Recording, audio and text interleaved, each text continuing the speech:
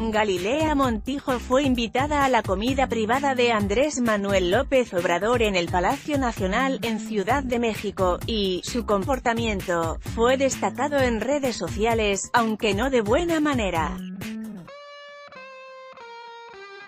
En el canal de YouTube, El Borlote, se dio a conocer que la conductora de hoy se presentó a la celebración junto a su esposo con un entallado atuendo dorado y negro.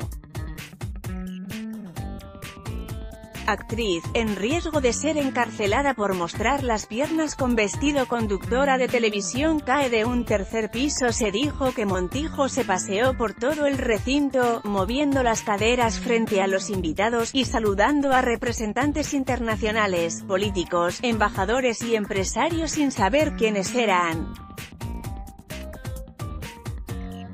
Fotos y mensajes como de amigos.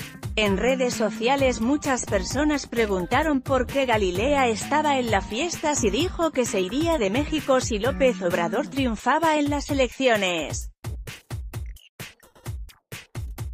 La titular de hoy desmintió eso al aire. En el canal mencionado se dijo que Montijo les pidió a las personalidades la selfie del recuerdo, por lo que iba con teléfono en mano y de mesa en mesa.